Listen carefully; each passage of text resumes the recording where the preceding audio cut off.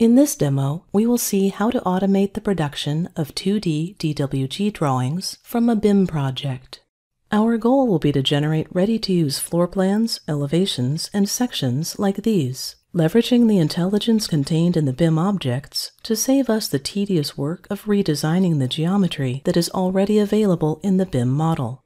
And at the same time, we will keep the flexibility to add 2D details, or any other content, with the CAD features of Ares Commander to achieve the execution drawings we need for our project in much less time.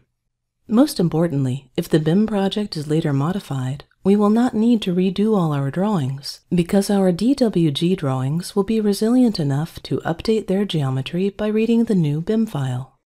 In previous versions of Ares Commander, we released the features to import Revit or IFC files and use the BIM filters to select the content we want to use in our drawings. In the BIM ribbon of Ares Commander, we find the features to create floor plans, sections, and elevations. These features will section the BIM model so that we can create these drawings manually. In contrast, the automation feature we will see in a minute will generate these drawings automatically. In the BIM ribbon, you can also find the features to create BIM dimension chains and BIM labels.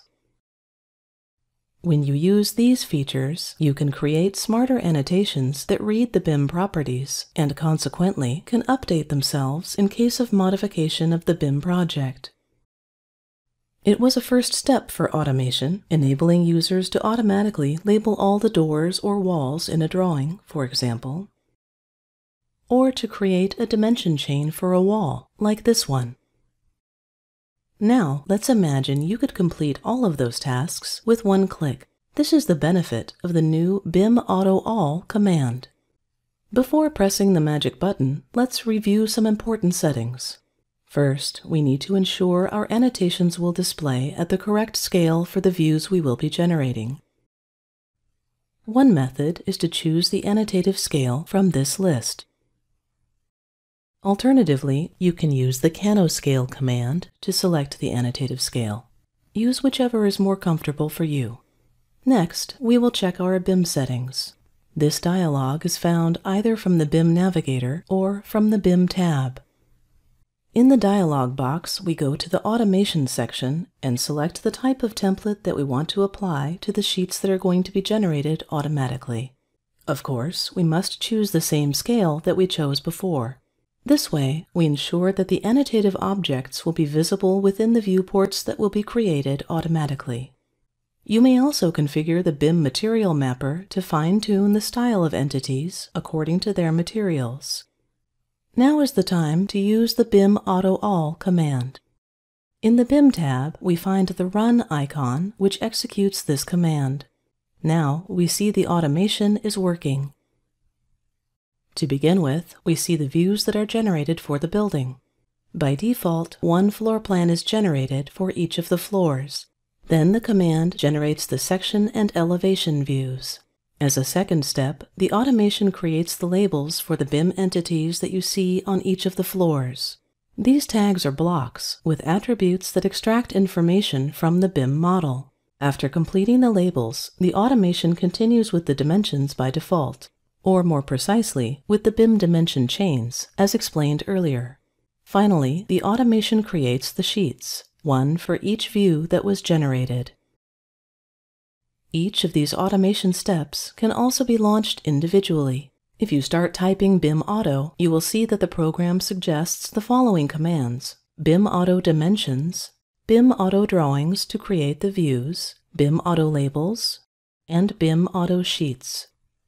The BIM Auto All command executes all four of these commands, one after the other. Most interestingly, BIM Auto All is following a script file that you can configure to teach the program what you want. The script is in fact a Lisp file, which you will find in the app data roaming files of Ares Commander. For example, it is easy to remove one step of the process.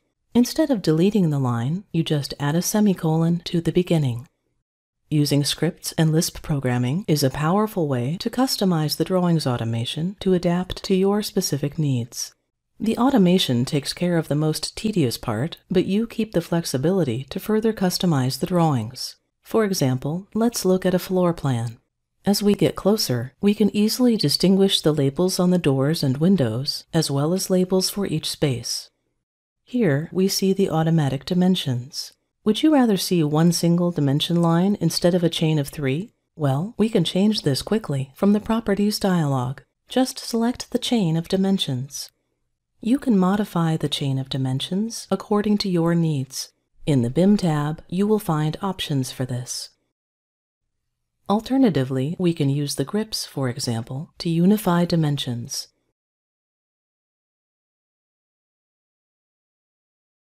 At this point, the user can manually add a dimension if desired.